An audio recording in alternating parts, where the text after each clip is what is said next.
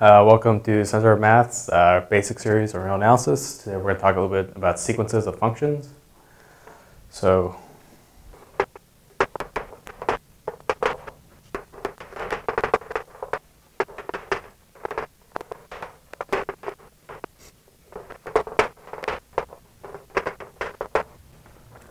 so uh, given some sequence of functions of f of n going from e to e prime, we say the sequence uh, this sequence of functions, f1, f2, etc., converges at some point p in E.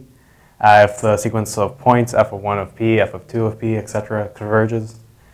We say f of 1, f of 2, uh, etc., is convergent if it converges at each point in E.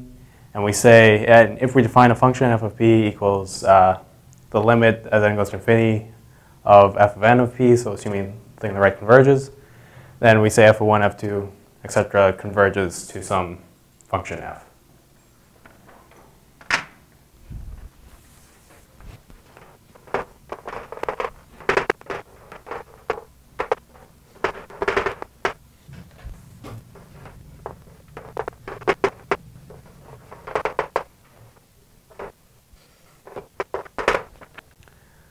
So we say a sequence of functions is uniformly convergent uh, to some function f if it converges and given any uh, e greater than 0, we can find some positive integer n, such that for little n greater than big N, uh, we have the distance uh, between f of p and f of fn of p is going to be less than that epsilon uh, for all n greater than big N, and all p in our metric space uh, E.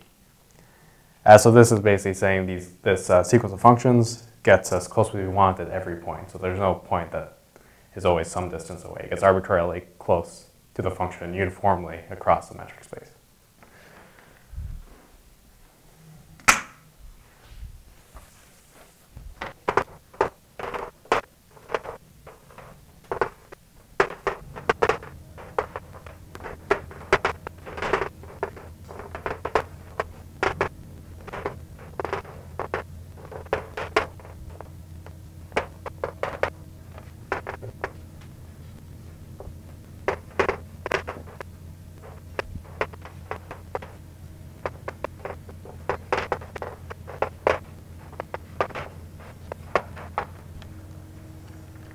So uh, something neat we can prove about uniformly uh, convergent sequence of functions is if we have a uniformly convergent sequence of continuous functions converging to their limit f, then f is also a continuous function. Uh, so this is essentially going to be proved by uh, the, taking the distance between f of p and f of p naught and e prime, and using the triangle inequality to break this up into three parts. So distance between f of p and f n of p, plus uh, fn of p and fn of p naught, and then fn of p naught and uh, f of p naught. And so uh, the middle one, uh, we can make as small as we want by taking p close enough to p naught, because f of n is continuous. f of p and f of n of p and f n of p naught and f of p naught. We can make as small as we want because f of n is a uniformly converging sequence of functions. So this can also get as small as we want. So specifically, we pick, uh, yeah, we pick p such that uh, p is close enough to p naught. P is p distance p, p naught is less than delta. So distance from fn of p and fn of p naught is going to be less than uh, any given epsilon over 3.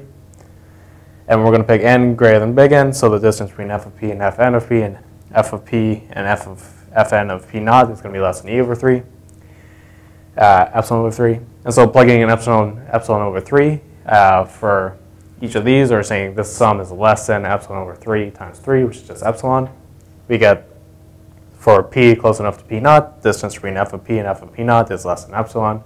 And so f is continuous at arbitrary p and e, and so f is a continuous function.